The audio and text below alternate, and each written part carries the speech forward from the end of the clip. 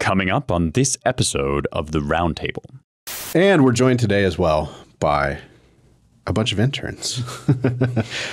I would say the conservative movement is depraved and the GOP is stupid at this point. okay. Again, we're just bringing you the voice of the youth, everyone. There's a reason why every minute of every day, everyone is thinking constantly about transsexuals. You know, it's like the brainworms have totally saturated society. going to meetings and and and and yelling at elected officials. This is this is so salutary. It's like it's almost uh, it's like my cup runneth over. Spencer, you're an honorary Zoomer, even if you know, you're not within the, the age demographic. I, I, I, would- I would almost just shut the podcast down for ha- for you having said that, Nate. I, I, If we don't have that, then politics is gone, and you know, on our, our way of life and our form of government with it. you know, these average middle and working class parents that aren't even necessarily registered Republicans or self identified conservatives all the time, pushing back and being like, you are not going to teach our kids this, right? Like, we love our country. You can't teach our kids this is an evil country. You can't teach our kids to hate each other based on race. We still believe in the principles of the Declaration of Independence, right? Like, that's America. America is not the sort of you know, uh, corporations with pride flags and, you know, gender studies programs for Saudi Arabia and all the things that we're used to, to complaining about, right? Like America is the parents at the school board meeting demanding that teachers don't teach their children to hate each other based on the color of their skin.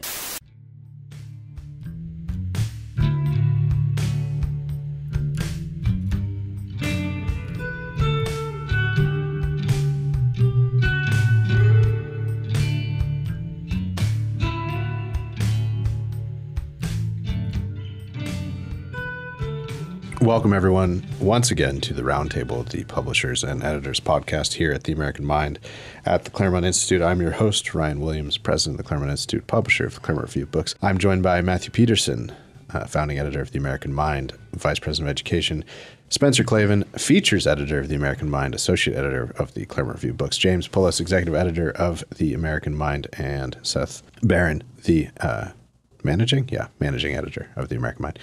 And we're joined today as well by a bunch of interns. uh, rather than uh, me introduce them, I thought we'd go uh, around the horn. Uh, one of them, at least, is uh, you know Clubhouse famous, our own Nate Hochman. So we'll start with him. Yeah, Clubhouse semi famous. uh, Nate Hochman, I'm here for the summer, an editorial intern at the American Mind, doing the Publius Fellowship with Claremont in a week coming up here, and just really excited to be on the podcast. Where'd uh, Where'd you go to school, Nate? Colorado College out in Colorado Springs And you graduated what? A couple years ago? uh, a couple months ago. A couple months. Yeah. All right. Yes. Yep. Correct. All right. Next. Uh, I'm Wyatt Verlin. Um, I went to DePaul University. I'm an intern here at, for the American Mind as well this summer. Just very excited to be on this podcast as well.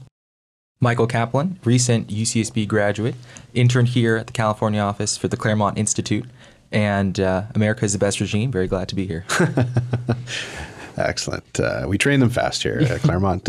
uh, last but not least, Blaze. Blaze Ebner, and I'm going to Azusa Pacific University, just right down the street from the Claremont Institute, and I'm going to be interning interning here too over the summer and into the fall. Excellent. And Blaze, you're coming to us from Idaho, right? And the are you Yep. scouting the Mountain West for Yep, uh, bunkers and exploring the- compounds? Yeah. Yep. Excellent. All right. I thought I'd start off uh, uh, with, um, you know, we've got the assembled Utes here, as we say from my cousin Vinny. That's a that's an old reference for you youngins. So I just wanted to start off with uh, a sort of rapid round, and we can go from there. But if you uh, if you had to use one word to describe, I'm going to actually change it to two things now. One word to describe the conservative movement, and one word to describe the GOP. If you think those deserve different words, Nate. Oh no, uh, this is I'll put it definitely putting me on the spot with the second question. I think that the conservative movement is decadent, um, and the GOP.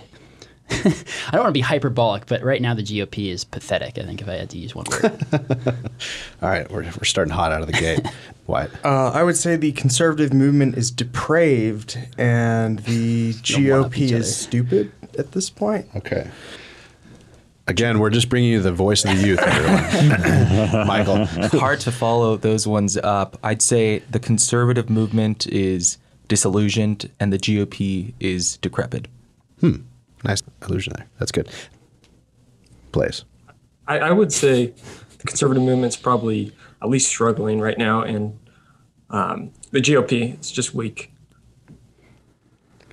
And that's our show. Would have been funny if I just went like the conservative movement is fantastic. There's nothing wrong with it. GOP is winning. No, that's um, this isn't a turning point podcast. Um, excellent. Well, good. Thank, thank you, guys. Um, I, I wanted to start. Maybe we could talk a little bit about. Uh, well, first, let's let's go to our veteran podcasters and any responses to those, gents. None. Okay. Well, uh, that's all right. well, I mean, we do talk about it every week. Yeah, Um, it's true. I mean, I don't know. This is a family podcast. But Matt, actually, you had a, a recent experience, um, which you tweeted about. Uh, I think today, uh, maybe yesterday, uh, up in up in Montana, meeting with Chris Rufo and others about to talk about critical race theory, and uh, you were encouraged by that episode, weren't you? Yeah, I think that um, there's so many subgroups and sniping and uh, any kind of transitional time where there's a vacuum of leadership in the conservative movement or, you know, God forbid, the Republican Party. Uh, you're going to have all these all these kind of uh, factions, you know, taking shots at each other and, and trying to claw their way to the top. And that's all good. It's normal. It's natural. But I think what people need to realize is that um, a lot of these the themes of 21st century, you know, American right are already being defined on the ground. And in, in the, this case, this was a, a meeting in Montana that people are already griping about online um, with a number of people who are dedicated to fighting critical race theory, as Chris Rufo calls it, and has very successfully named it and fought it. And um, you see an organic movement where you have parents of all kinds rising up and, and taking kind of activist, activist steps forward. And that's happening organically around the country, regardless of what conservatives or their critics or the Republican Party and its critics are doing. And so uh, it's people are much more aware of these things than I think a lot of intellectuals or commentators online um, realize. And there really is something something happening, regardless of what people say on Twitter. And so I, I was um, I was very encouraged by it. I was encouraged by how strong um, many people actually you know are on this issue, uh, how clearly they see how evil it is and how they're operating in, in different ways to combat it. And you know, what gets lost in a lot of these these these griping wars are um, uh, is the fact that politics is about coalition building, and that's just the way it is. It's the way it's always been. And so I think um, you know a lot of good things are, are happening on the ground. The question is, how does that shape the conservative movement and the Republican Party? And and that's really what's at stake right now. I have a question about that, Matt, because the CRT success we've been seeing lately on school boards, in local governments, at the state level, I agree, hugely heartening uh, and a rare, a rare moment of victory, right? I mean, because it's not, I don't, I don't want to. I actually don't have any uh, critiques or disagreements with the characterizations that our interns gave of, of the GOP, but I, I do want to highlight this as like a sort of, it's almost shocking. It's sort of like uh, we're, we're, we're winning. I mean, how did how did that happen? And and I think you, you identify one important tactic that Rufo really spearheaded, and that was giving giving the thing a name, right? I mean, calling it critical race theory, picking one of their many ridiculous sort of jargon laden terms and just nailing that to the wall. And you can tell because that's what the lefties are most hair on fire about. What were some other tactics that you took away from this? And do you think that they are translatable into other areas? Because CRT is an important one, education near and dear to my heart, obviously. But there are so many others, right? I mean, was there like a workable strategy in place for bringing this into foreign policy, into the trans stuff, you know, anywhere else besides CRT? Yeah, I think I think there was. I, I think that the um, the naming. Um, this is something that Ryan and the Claremont Institute as a whole has, have been about for a while. Naming the actual regime threats, um, right? The Center for the American Way of Life, Claremont has in D.C. I mean, getting people to talk about what is actually looming on the you know landscape that we can see with our eyes is really important. So you know, critical race theory is a good example. It's not what I would have called it. It's not, you know, but no one really had a name, but that name stuck and it stuck for a reason. And it, it allowed him to pin down, right, a bunch of bad things that he Right. shows in his tweet threads with a bunch of a bunch of actual examples to an overarching problem and you can see them backpedaling and denying it right and because they know that it's it, their squirrely way of doing this has been pinned down so i would say when it comes to foreign policy when it comes to everything else that's really important naming naming something is means that there's a unified right bad thing that all the examples fall under you're you're naming a universal and I think that that's number one. Uh, number two and three, um, there's probably three major themes. N- number two is the activism. I mean, the fact that um, regardless of what uh, intellectuals and people uh, who write in our publications say, there are people on the ground who are looking for particular examples. They're filing Freedom of Information Acts. They're they're trying to nail down what's actually going on in their school system. Say, and that's of course um, that's that's basically what journalism would do normally but we don't have real journalism you know for the right so people in other areas of, of politics you know need to bring out in simple ways the actual examples of the problem and you could apply that to uh, to any other major issue in america and that work has to be done by by activists because it's not going to be done by the media and then you have to use like Rufo and others do, uh, social media, et cetera, to kind of spread the word. And so the the first the first thing once you've identified the enemy is okay. Now let's get some examples of what's actually going on on the ground, and then reach the people for whom uh, who are affected. And you see this being successfully done with the school boards and the school districts. Very interesting examples um, throughout the country of people who carefully, uh, given the situation they're in, politically maneuvered to find allies, right, and uh, get a coalition together to start fighting some of this stuff. And so it, it's not as simple as just speaking out. It's it's finding examples that piss everyone off, and then going to constituencies that are local or regional or they're, being affected, and then uh, and then you know getting them together and and starting to press forward. And then third, I would say I think there's a lot of people in this particular issue when it comes to combating critical race theory who understand there's a kind of accelerationist level here, reduce it to the absurd, encourage the other side to go all the way, right? So put the put the as, as Peter Boghossian has on his uh, on his Twitter, um, uh, put the put the quit back into equity. If you really believe in equity and you're uh, a white privileged person, you should quit now and leave your job and make sure people of the proper color or whatever class are, are put into position. And there's a lot of ways in which you can do that where uh, you kind of get ahead of the other side rhetorically and you push in, in very belligerent in a very belligerent manner. And I think as far as the larger rhetorical game, uh, people were they understood that and they understood that you're not going to win by you know making some kind of uh, some kind of argument and principle and purpose and laying out syllogisms. The other side doesn't care, but what you can do to combat them is to take it all the way, all the way to the 100%, like where does this end level?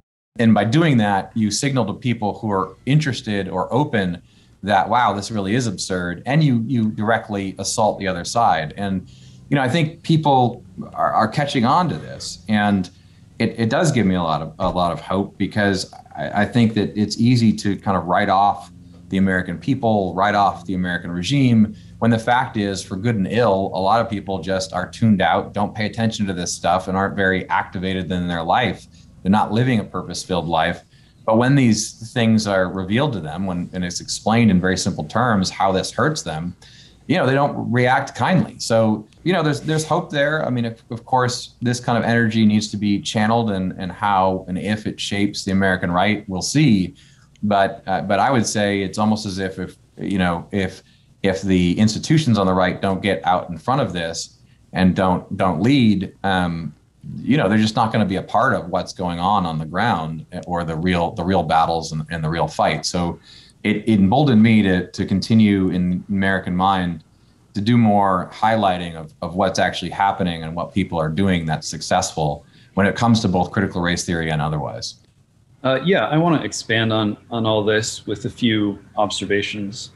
It it seems to me that the real context here is considerably larger and more significant even than race itself. Um, and that context is that people are hypnotized right now. They are hypnotized by the sudden absolute dominance of technology over every aspect of life. And they are hypnotized by the mystical powers that technology seems to confer on those who wield it. People are turning into cyborgs before our very eyes. I mean, you know, we all walk around with smartphones all the time, every day. And over the course of the pandemic, many people used their smartphone phones more than they used like walking around outside talking to fellow human beings. Um, so like the, you know, the, the, the lobster has already been boiled in that regard. But there's, you know, there's a reason why every minute of every day, everyone is thinking constantly about transsexuals you know, it's like the brainworms have totally saturated society. You can't get on the internet without coming across this this topic of discourse. And it's because, you know, the transsexuals are the the, the bleeding edge of cyborg life. You know, they're not really transitioning from one sex into another. They're transitioning from totally human to partly human and partly technology.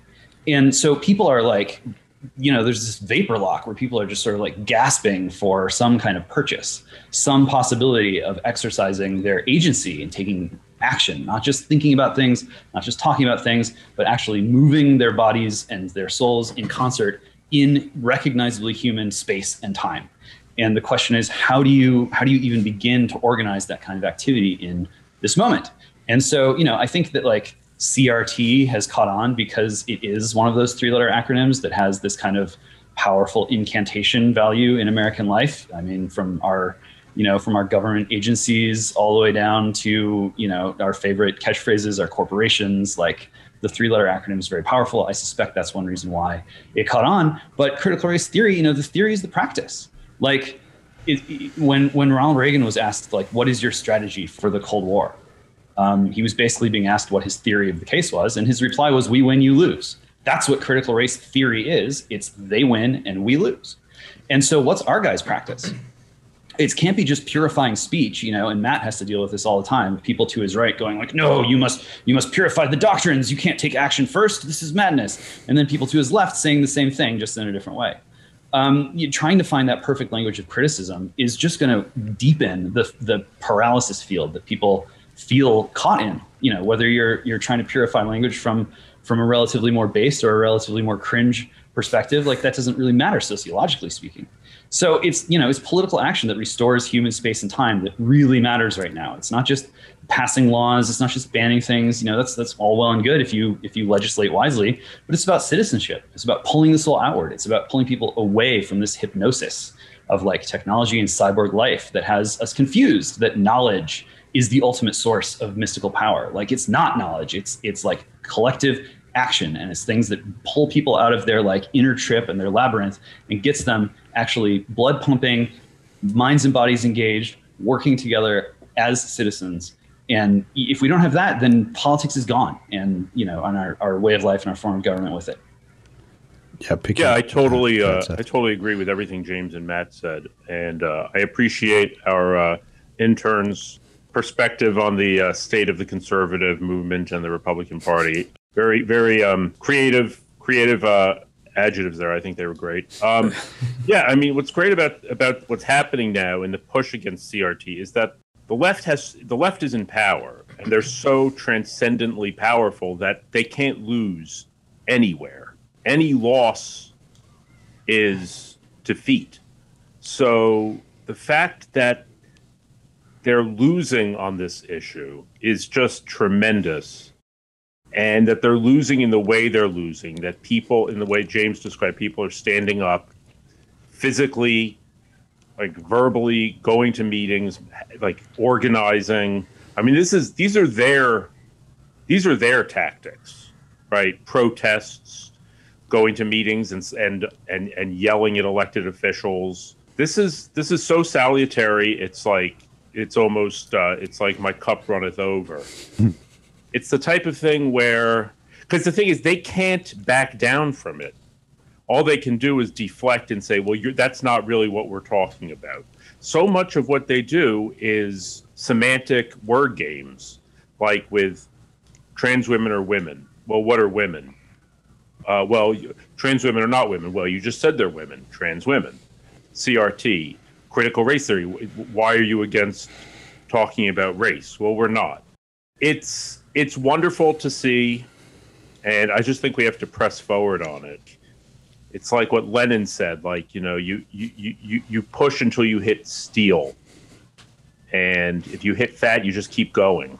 This, you know, I I don't know. I, I like to think that this could maybe um, this could really like hit the the sinews of what they're all about and reveal a lot of their untruths.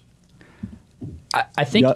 in, Mm, insofar on. as I can like offer an intern perspective that's at all interesting to the uh, to the American Mind podcast audience, um, it's not a white pill, but I think it's a reason for optimism. And this is something that I think you guys are all obviously aware of. Is one of the reasons for optimism is that there's a generational divide in the conservative movement. This is something Ryan I've, I've talked to you about uh, offline and that I'm interested in, in writing about. But the young conservatives, by and large, understand the problems that we're talking about and the problems that American Mind and Claremont in particular focused on a lot more vividly than I think our a lot of our older counterparts, present company excluded, obviously. um, but the Did you just call me a boomer?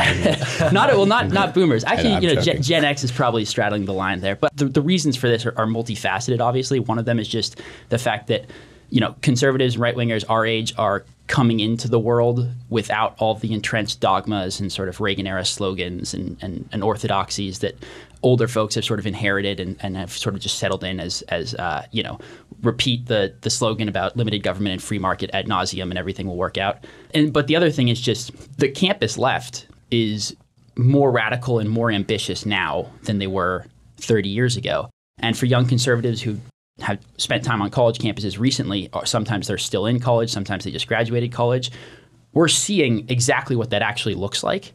And when we're seeing, you know, the president of the United States, the heads of the Democratic Party, the heads of big business start to use the language that we're used to seeing from campus activists, we actually understand much more vividly just what that means and just what the radical ramifications of that are a lot more than folks who are just hearing the word critical race theory for the first time, right? So like when I hear someone talk about any number, invoke sort of any number of, of woke slogans, I know exactly what that means. And I would wager that like any conservative who spent time on college campus recently knows what that means. Whereas like the president of, you know, X think tank who's, you know, 65, 70 years old is hearing this word for the first time and they don't fully understand it. So I think like understanding what time it is and understanding just like the context of how radical the regime has become is something that is just much more natural to folks who have actually had a much more direct experience with this. This is one of the reasons I'm so attracted to the American mind. Like you guys are, you, feel like you know some of the only people who really get it. But I, I think your message obviously is going to have much more appeal to people within my age demographic uh, than it is to older folks who really don't understand what we're talking about when we talk about these things. I think just for another intern perspective, though, as well. I mean, just to push back a little bit, I think there is a need. You guys are your own human beings. You don't. Well, I have to We present myself as a No, no, no, no, podcast. no, now. This is part of my contract. I, I, I think there's a need for some pessimism around some of the opposition to CRT in the sense that it's this is all coming really spontaneously, and it doesn't actually have um, the complete backing of the conservative quote unquote movement, um, which still wants to talk about like socialism or something. Well, it depends what conservative movement you're talking That's about. true, I, I don't really know. I mean, I, I, I'm curious what you guys think, but I, I don't really know that there is like a coherent conservative movement anymore, like there was, you know, in the Reagan era. Like we're talking about.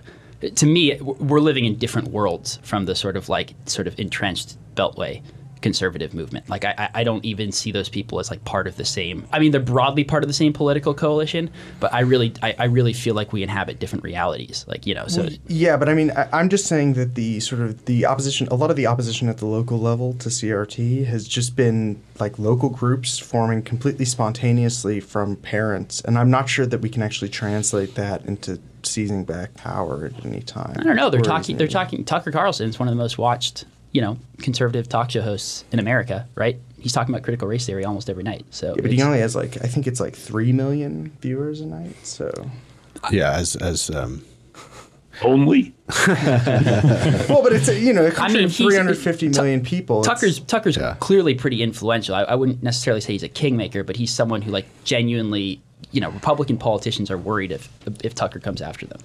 Yeah, If you're talking about translating groundswell movement into you know, actual, as it were, structural change within the apparatus of the party, I think it's fair to point to Tucker as somebody who might like be that hinge or inflection point. I mean, I have a question for you guys because I think when you're talking about these schisms within the conservative movement or the conservative movements, right, uh, you're outlining one of the major fault lines, and that is actually not wholly defined by age, although you got more young people on one side and more older people on another, right? But we talk a lot on this podcast that is boomer energy is different from being a boomer in the sense of being born at a certain time, yeah. right? There's this question of like, of do you know what time it is? And Nate, that lived experience that you're talking about, right? Like the thing where you have come up through whatever college education or whatever, you know, high school, even high school experience, uh, seeing what these people do on the ground and seeing what these buzzwords actually mean and what they translate to. I, I get that sense as well as somebody who's clinging still tenuously to the designation of like youthful, right? I, I hear that a lot from people just younger, just a little younger than me. That like I know these people, I know what they, I know they mean business, I know who they are, and your stupid boomer slogans about like you know low taxes or uh, licensing reform genuinely do not set a fire in my heart because there's more important stuff to be carried. See, Spencer, you're an honorary Zoomer, even if you know I- you're not within the, the age demographic. I, I, I would- I would almost just shut the podcast down for ha- for you having said that, Nate. I, I, I feel I'm- After I the White Boy Summer Substack, I think we title, accepted but I, yeah.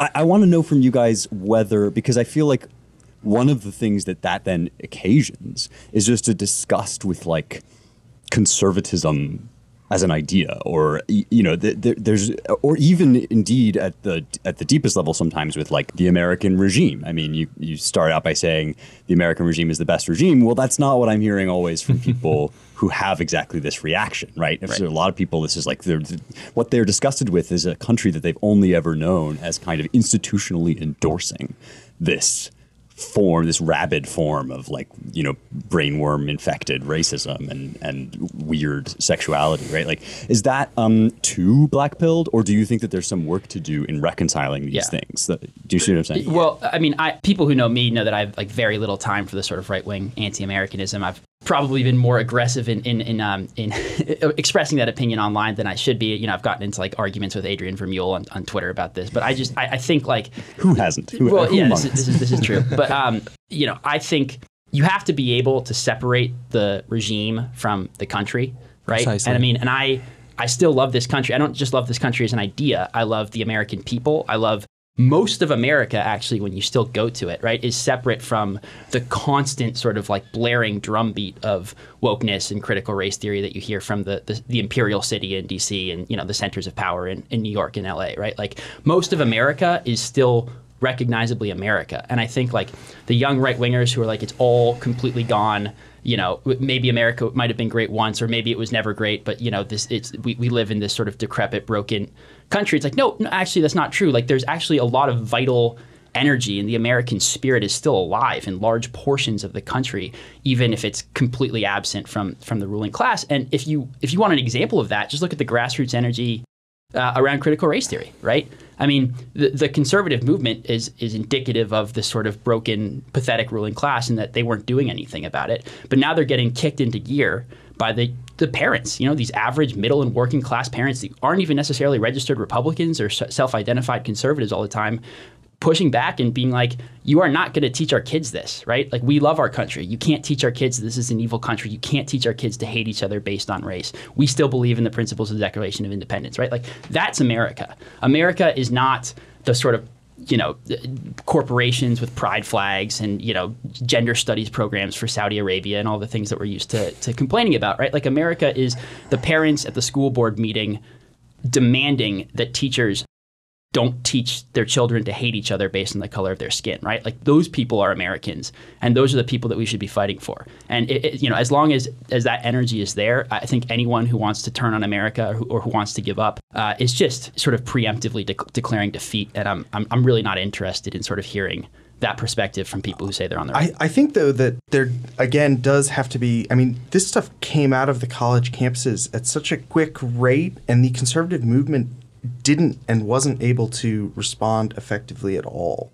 Um, like you know a lot of these sort of ideas were already being attacked by people on the fringes in the 90s and 80s even because there had already been there, but the conservative movement just refused to even acknowledge it. And so I think we're in a much deeper hole though than like, you know, Nate, I, I more or less agree with you, but I think like the actual situation is probably worse than it than it actually appears at times. Oh, I'm not saying it's not bad. It's really bad. Yeah, it's it's it's really bad. The um, uh, I mean Spencer back towards the beginning of this discussion said that we're we're winning and it's amazing, and then Seth said and they're losing, which is also amazing.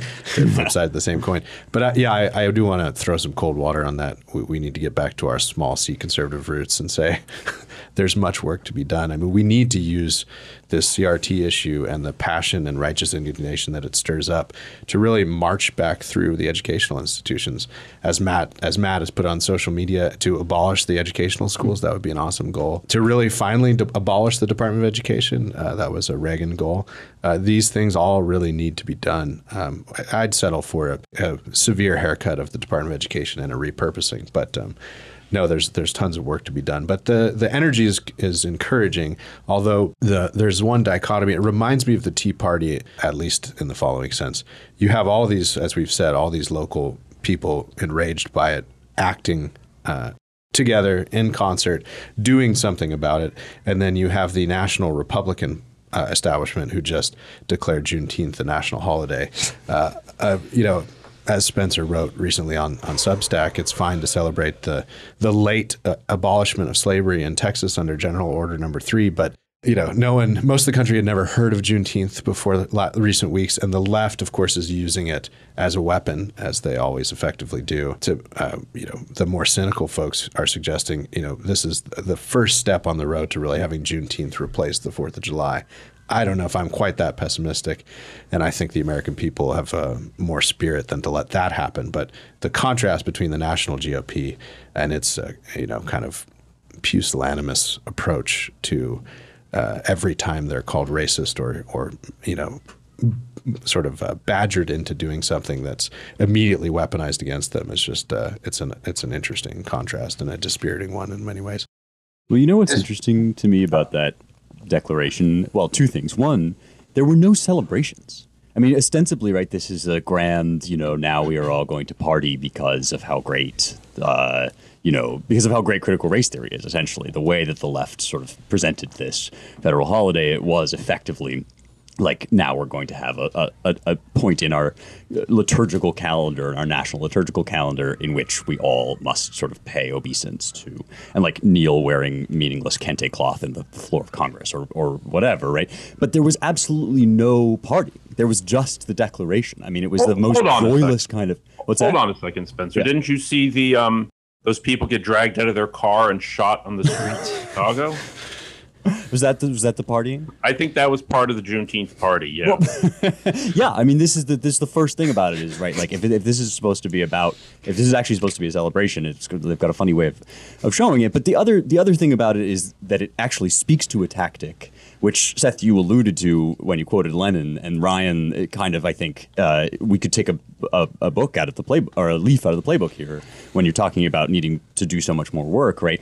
The, the next thing when they win a victory like this, the next thing the cultural Marxists or whatever you want to call it, the, the critical race theory left always says is, well, that was just, I mean, that's the bare minimum of what you should have done years ago. And now here's the, all the other things that we want, right? And Cori Bush says, like, you know, it's Juneteenth and reparations, it's Juneteenth and abolish the police, all of this stuff. I mean, the same thing happened after they got a guilty verdict in the Derek Chauvin trial.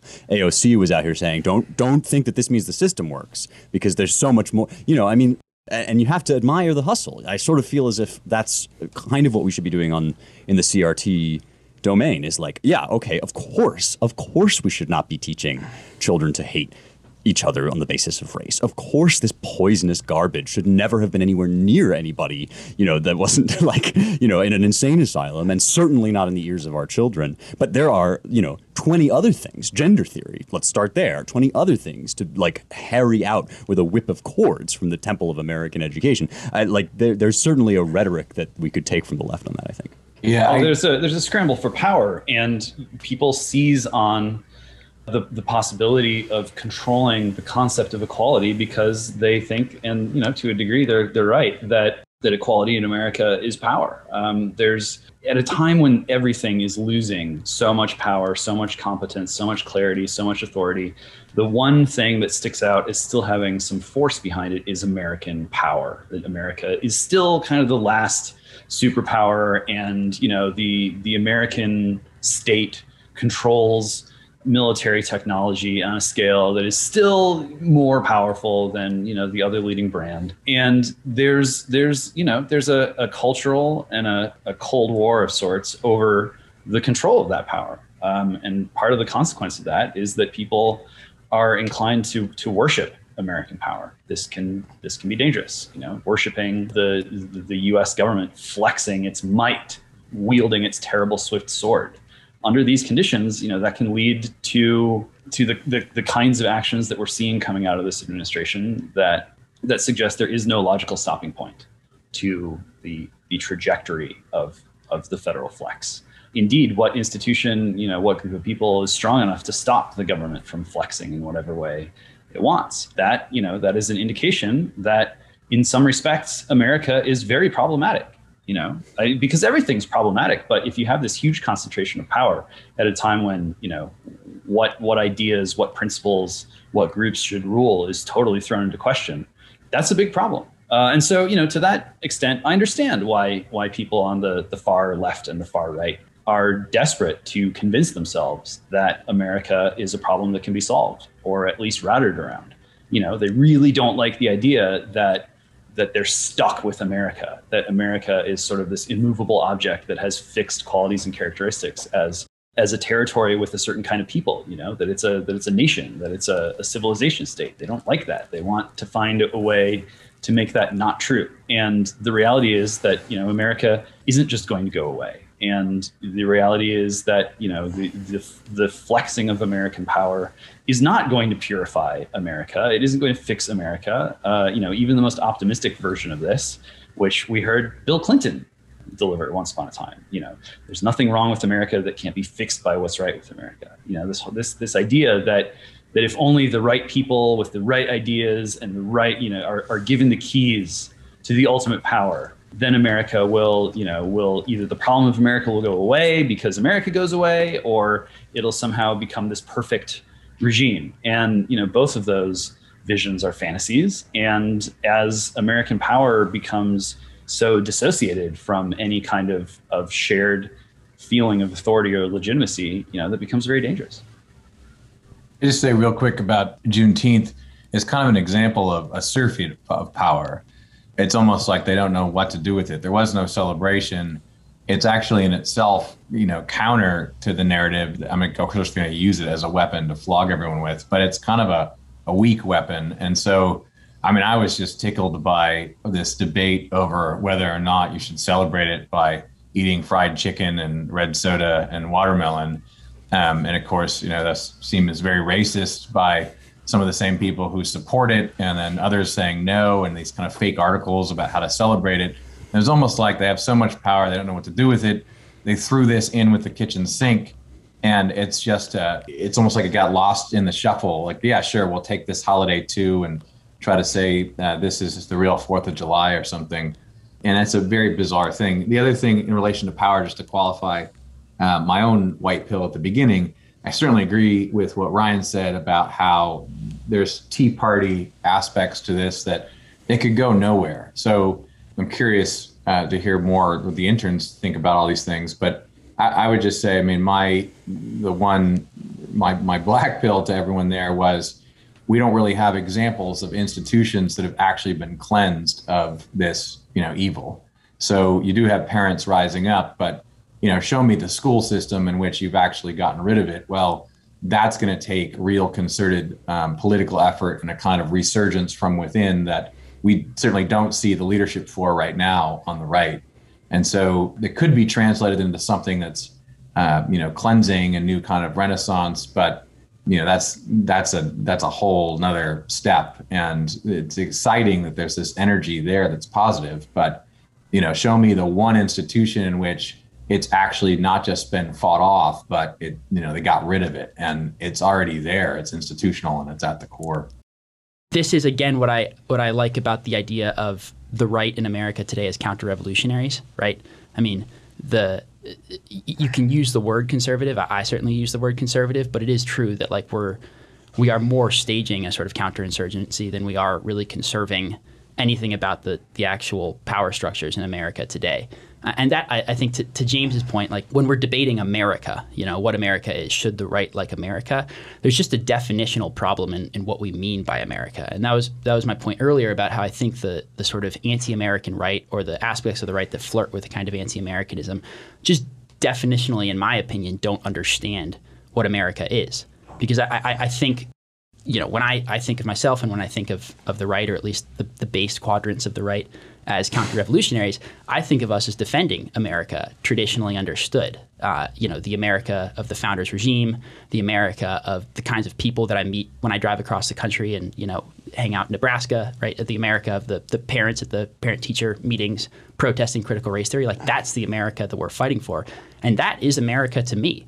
Uh, and, and being counter revolutionaries against a regime that is sort of this parasitic entity that has implanted itself in America um, doesn't make me anti-American. To me, it, it makes me pro-American, and it makes me fighting for America against a regime that is wholly both un-American and anti-American. And I think that is like the the distinction that often gets lost, particularly in the sort of right-wing anti-American discourse. I, I will say though, I think part of the problem, and I mean you're touching on this, is this problem of the institutions because literally every institution now is made up of people who graduated from woke universities and and that's only going to get worse. So you know even if we pass things against critical race theory for instance there's no guarantee that the teachers who went to Harvard won't be teaching kids critical race theory in subtle ways or won't be referencing it in class anyways. They call it cultural training in a lot of states now. Diversity yeah. training. Yeah. So like in, inevitably we have to face the fact that like political power just isn't enough. Like actually being in institutions is really crucial here and actually being able to construct narratives. And I don't see that the willpower for that happening yet. I, I'm I I hope that that can happen, but I don't see it yet. Well, it would be incumbent upon all of you to get after Yeah, it. yeah. That's why we're here. Michael here is uh, actually working, st- about to start working on um, one of Claremont's projects in this regard, which is just, it's the first step. But our, our senior uh, Washington fellow, Scott Yenor, has been working on this, and uh, we're, we're building a start of a database on uh, all this, all basically all the required courses that one has to take as you enter college on diversity, equity, and inclusion, all the cultural bias training the faculty has to do, the extent to which college mission statements reflect it, and then the administrators or the provosts that have been assigned to these sorts of things. Uh, at, we're going to start with the, the top 20 private universities and then the top public university in every state. So it should be a, a revealing exercise, but there's just a mountain of work to be done, and and uh, we need lots of institutions on the right working on it, both political and intellectual. I have a r- quick question for both, and you guys, uh, Wyatt and Michael, chime in as well if you like. But I'll start with Blaze. I want to talk a little bit with Nate and Blaze about their alma maters. Well, Blaze is still still in college, right? Blaze, yeah. So Blaze, you go to Azusa Pacific, a place where you have to sign a fa- pledge of faith, and the faculty has to commit to not drinking liquor uh, and believing in Jesus Christ. Uh, but Azusa Pacific, uh, you know, has a pretty solid woke con- contingent as well, doesn't it, Blaze? It sure does. It's definitely not the left, the left wing campus that you think of in like our UC schools or stuff like that. But there's definitely the battle between the people in the Great Books program, typically, like that's what I'm doing there, and those who see that as just promoting whiteness and. Um, and so, yeah, that's definitely a battle on campus. The thing is, though, the conservatives on campus are a lot less vocal, even though they, they do seem to be in the majority so yeah, it, it, does seem like without the faculty and uh, more political strength from the the students, we're not going to be getting anywhere. Yeah, yeah. You have ostensibly uh, Christian institutions, and this is a whole other topic we can get into some other time. But the the um, the failure of American Protestantism and even a good portion of evangelicalism to know what time it is is a big problem as well. Right. I mean, this is like to Blaze's point. This is, I think, a broader problem with the kind of conservative activism we're talking about. It's just dispositionally, traditionally, conservatives are much less likely to be interested in being activists, getting in people's faces, going to protests uh, than, than left wingers are for, for any number of reasons. Um, but I mean, my college, Colorado College, is I think the diametric opposite, opposite in that it's very left wing. There was one conservative professor there, and that you know made all the difference for me because my ideological journey is I was raised by by left wing parents in, in Portland, Oregon, and you know originally moved right uh, as as a sort of a counter reaction to just what I saw on college campuses, um, but that I wouldn't have really been able to put that original reaction that I had into words and articulate it and actually, you know, understand it as part of a larger coherent ideology if I didn't have this one very good but very old conservative professor. And when he ages out, there won't be any more conservatives at the college. And there are plenty of kids like me who, I mean, at any of these colleges, even the most left wing colleges, there are a lot of young people, particularly young men, but not exclusively young men, who are completely disillusioned with the dominant campus culture and think it's ridiculous, but they don't have someone to actually like lead them through that thought process and take it to its logical conclusion. Hmm. Um, and and that means that they're basically not going to be politically sort of they won't sort of realize I think the end of that ideological journey, which ends up generally being some kind of right winger, if you don't have a conservative mentor or, or someone who at least like has that kind of worldview to lead you through it. I was lucky enough to have this one professor who could, you know, send me conservative essays to read, right? You know, send me the sort of Strauss and Michael Oakeshott and all these these these these people that I read in college. But again, like he will be gone soon, and then that college will basically, yeah, you know, there won't be any access to those things for students, and that's that is also like a huge issue for conservatives, right? When we talk about sort of retaking institutions, this has to be part of the conversation because just one conservative in, in these places can make a huge difference. Um, and, and the lack of conservatives in these places means that you have a lot of potential right wingers, people who could be moved into our coalition, who aren't going to be because they don't have someone to, to actually have that discussion with. Yeah, it makes the case for a multi pronged strategy. While we need to build new institutions and, and continue to grow forgive the use of that word as a verb, to grow institutions like Hillsdale and others. It's also we shouldn't um, shouldn't naysay too much the importance of, uh, and a lot of these places it doesn't take much money of planting, even with some funding. So conservative donors out there, it's still worthwhile to plant uh, a conservative, even if they're kind of ghettoized and separate on campus. It, it still helps while we while we build the new things. Yeah, I would agree with that although I, w- I will say, I mean, the degree to which conservative professors on at least like, you know, I, I went to DePaul. It's an extremely left left wing school. It's ostensibly Catholic, but the Catholics have less room on campus than the uh, Muslims and every other faith group. So it's barely Catholic. But um, just the extent to which, like, for instance, you know, one of my professors, Jason D. Hill, he's been on Fox News, et cetera, um, has just been maligned by both the administration and the students makes me skeptical that just having one professor can can change things because it's you know he's not even a extreme rightist in any respect he's a conservative democrat i think um, and you know he gets death threats so we're dealing with a very very very hard time here yeah. uh, to seize the institutions what about you michael what's your experience yeah, I would say, you know, going to a UC school, there really isn't much hope in the humanities, uh, at least from my experience. I think what I was able to find were a lot of, I guess you can say, centrist or um, even sort of Reagan era conservatives and the economics, uh, some parts of the history department, uh, nothing really in poli sci.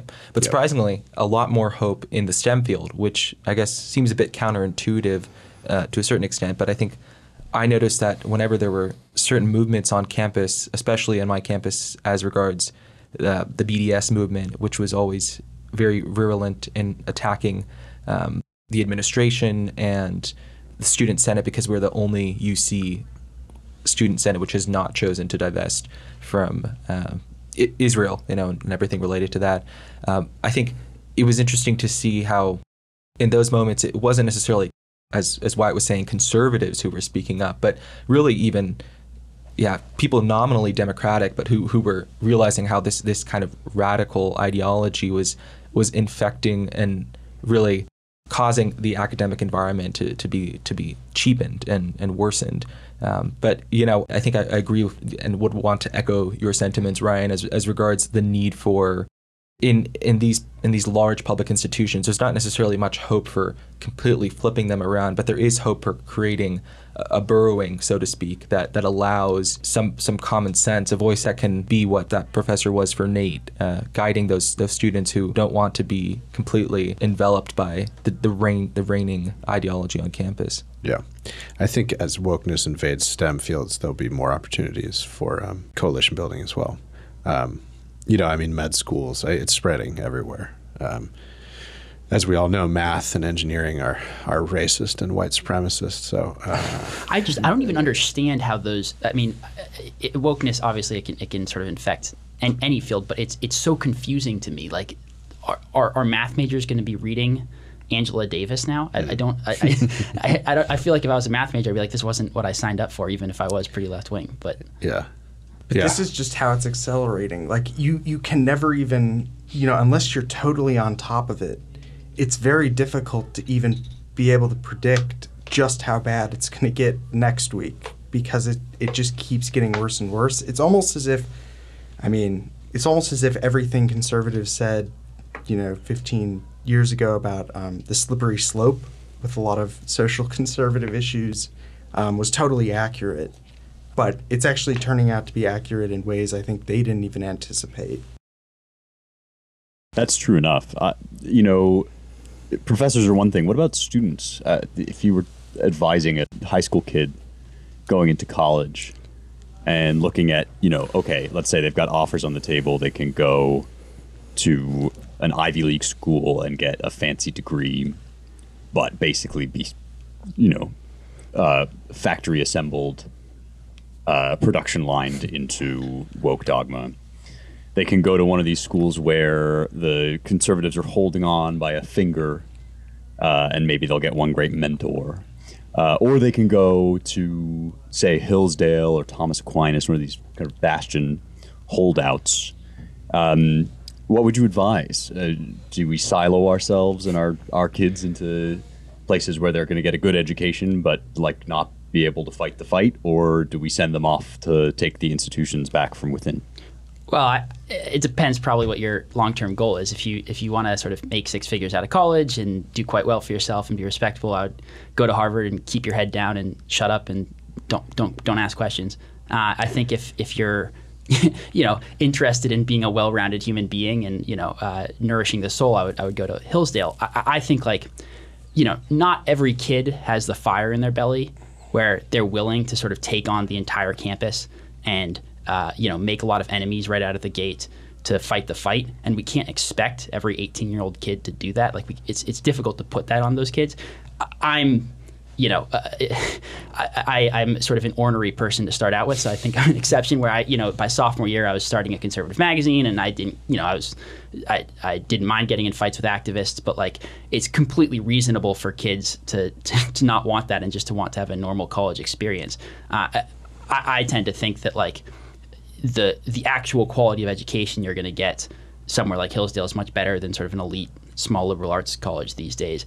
As in terms of like the broad sort of strategic question for the conservative movement, yeah, it would be great to have a, send a lot of like really based 18 year old, 19 year old kids into Harvard so that we actually had like a locus point of resistance in those places.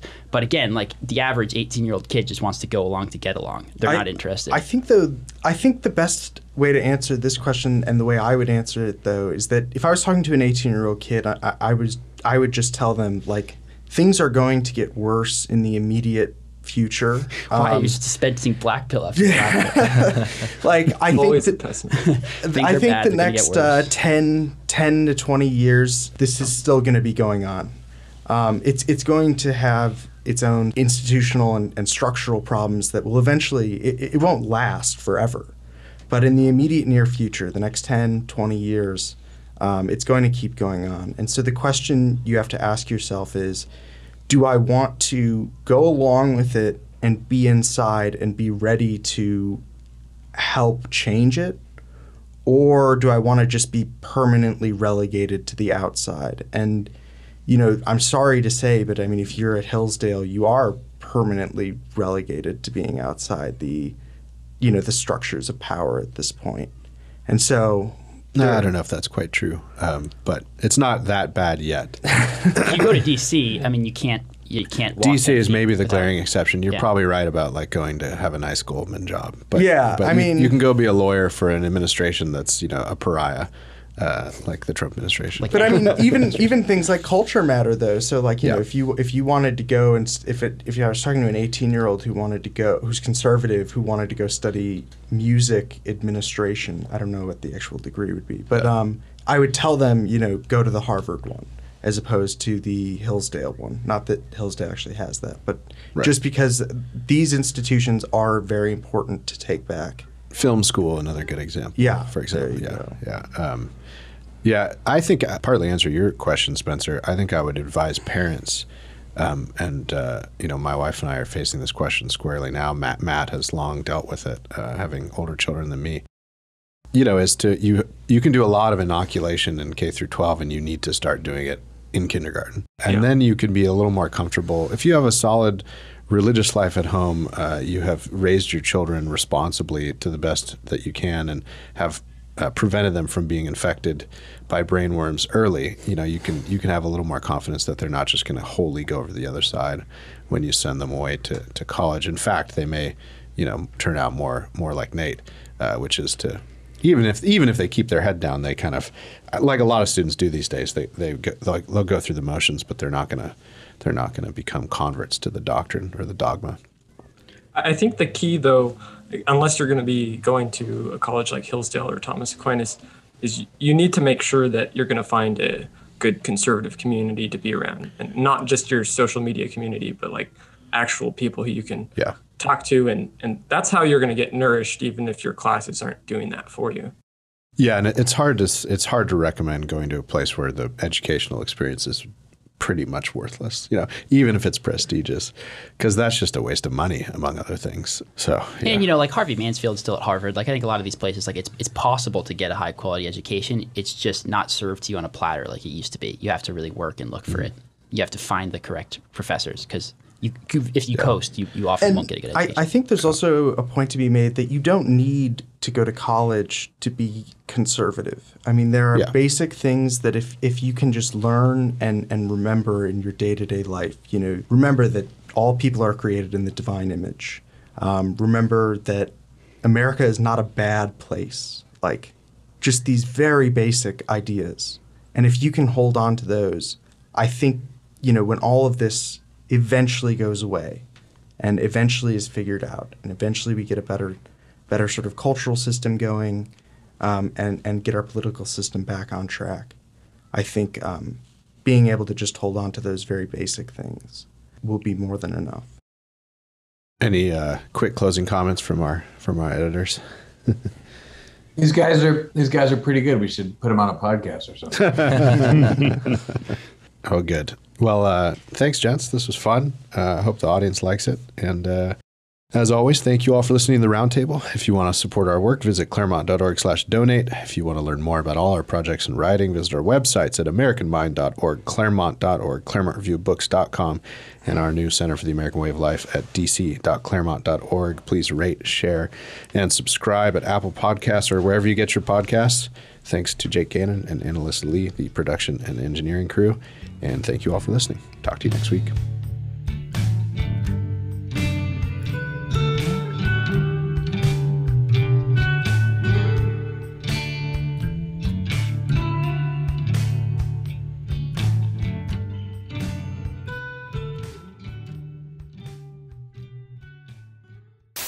There's Dr. Klavan, although headless. Very well, thank you. I'm noticing that I've I had to adjust my camera for a, a different hit, and now I'm like very very short. You're short. so I think I should change that. But otherwise, I'm doing well. So we'll all get cancer, but we'll have high speed Wi Fi anywhere. For breakfast this morning, as usual, I drank the tears of my enemies and inhaled the pure vapor of liberal most rage. base mic check. yes, the um, the Claremont Review of Books is published quarterly by the Claremont Institute for the Study of Statesmanship and Political Philosophy. America's the best regime. One, two, three. America's the best regime. One, two, three. The perfect resolution of the Reason, problem revelation, of reason, Athens, revelation. Jerusalem, One, one, two, two, three. three. What has Athens to do with Jerusalem? It's like the nerdiest sound check ever. This may be this may very well be the nerdiest sound check I've ever heard. It's from that Washington Post. It's uh, WAPO, yeah. What about being white? Are you proud of? Yeah, oh, yeah. Even though his video's on, I believe his internet is shit. That's the scientific use- to term. use the Yeah. term, yeah. Never back down, never Yeah, never apologize.